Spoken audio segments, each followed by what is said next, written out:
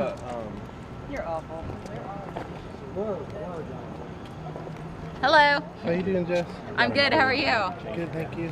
Oh, you're good. Hey, what's your take on wooden spoon spankings? Kate, Kate Gosselin's getting a lot of hits. I heard that on the radio today.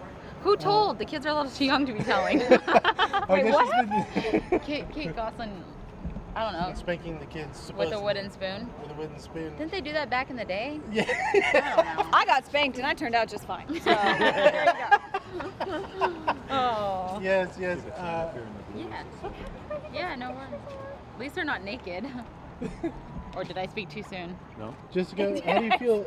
How do you feel about the wooden spoon? I guess she had pictures Thank you. That's all I. I have. just- taken with the spoon out of her purse. Of course. If about the wooden spoon? Yeah.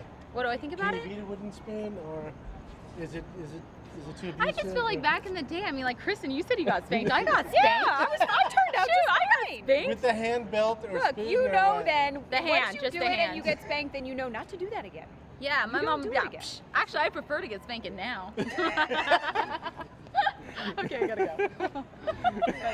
I do like getting spanked now. I'm not gonna lie. That's awesome. Good times.